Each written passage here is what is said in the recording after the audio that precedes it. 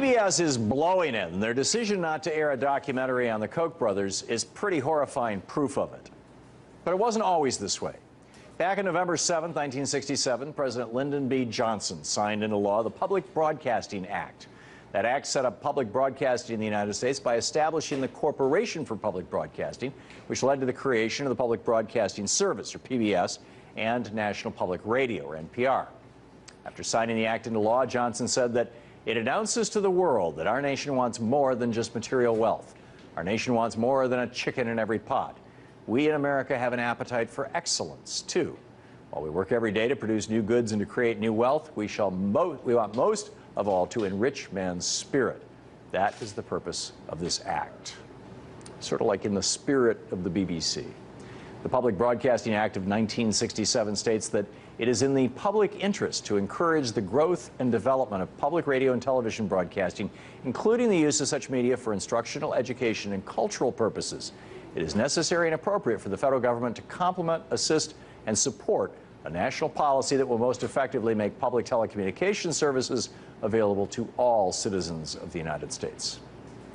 You know, when public broadcasting in America was first established, the intent was that Congress would provide funding for the Corporation for Public Broadcasting, which would in turn divide that funding up among various public television and radio stations around the country, PBS and NPR.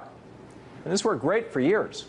The public broadcasting system and National Public Radio brought educational programming and independent news and political analysis to millions of Americans. But with the onset of Reaganomics 33 years ago, federal funding for the Corporation for Public Broadcasting has been slashed. As a result, public broadcasting institutions now rely more and more on corporate and billionaire cash to operate, which is probably why PBS and NPR now seem to filter what they play on their airwaves so that they don't anger their wealthy backers. This is where the documentary Citizen Koch comes in. Citizen Koch is a documentary about money and politics, focusing heavily on the uprising that took place in Wisconsin in 2011 and 2012. It talks about how the Citizens United decision paved the way for secretive political spending by major players, including the Koch brothers.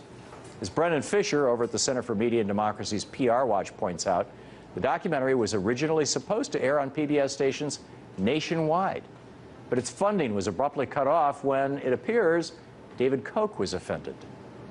But why would PBS care if David Koch didn't like one of their documentaries? Well, it turns out that uh, David Koch, according to the New Yorker, has donated upwards of $23 million to public television. And when you donate $23 million to public television, you get more than just a tote bag and a coffee mug. You apparently get to dictate the on-the-air programming. This is the kind of influence and control that we see in mainstream media today.